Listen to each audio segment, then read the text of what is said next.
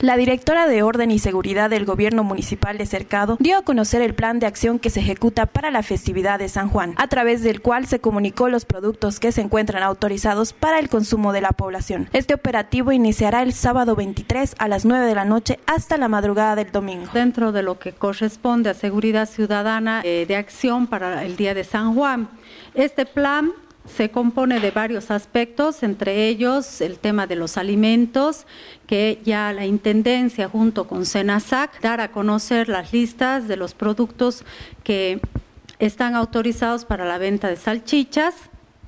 Segundo, también se trabaja con el tema de bebidas alcohólicas. La Guardia Municipal juntamente a la Policía Nacional precisamente bomberos, van a realizar también los controles en cuanto a temas de fogatas de acuerdo a, la, una normativa municipal, la 073-2005, está prohibido este, realizar este, la quema en viviendas particulares y en la vía pública.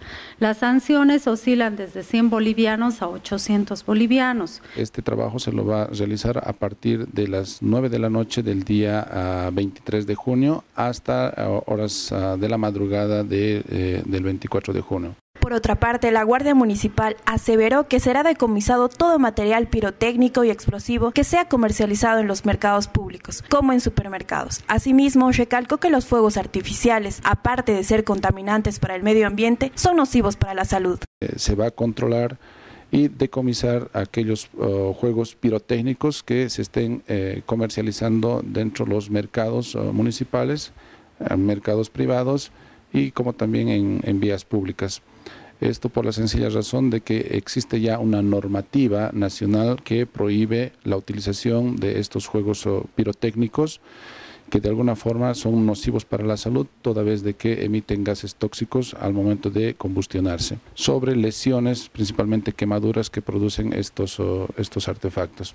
Eh, los niños de alguna forma que eh, por mala, mala utilización también han sufrido quemaduras, pero principalmente que se ha demostrado de que algunos de estos productos de juegos pirotécnicos tienen una carga explosiva, eh, lo cual tranquilamente eh, pueden partir un, un ladrillo.